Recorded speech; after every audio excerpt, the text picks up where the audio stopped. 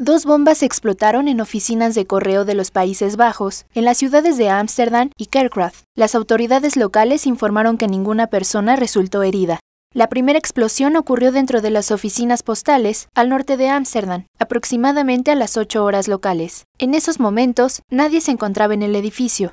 La segunda explosión ocurrió una hora después en Kerkrade, aproximadamente a 220 kilómetros de Ámsterdam. En ese caso solo había nueve personas en el edificio y ninguna fue afectada por la pequeña explosión. El primer sobre contenía una carta de extorsión que solicitaba una recompensa en bitcoins, en una solicitud parecida a algunas que el servicio postal ya había recibido. Ambas cartas fueron localizadas en un sobre grueso, blanco, con dos sellos y con destinatario colocado en una etiqueta, y ambas explosiones se relacionan, por lo que han sido colocadas en una misma investigación. La policía solicitó a quienes reciban cartas de estas características avisen de inmediato a las autoridades.